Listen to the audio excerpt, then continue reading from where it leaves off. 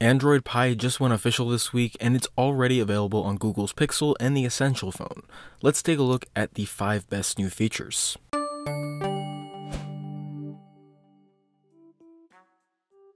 The first big change that you should try in Android Pie is the new gesture navigation system. While these new gestures won't be for everyone, they do provide a very natural feeling way to interact with your smartphone, and they work great in my experience. If you want to try them out, check out the link below for a post on how to enable them on the Google Pixel.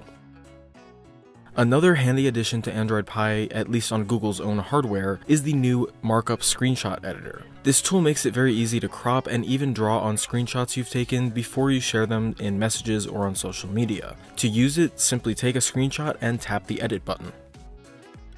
Google has made it clear that AI plays a huge role in Android Pie, and that's most clear in the adaptive brightness and battery features. Adaptive brightness learns from how you set your brightness in certain situations and automatically adjusts it based on your preferences. Adaptive battery also uses your patterns to better prioritize how Android manages resources to ensure you get the most out of a charge.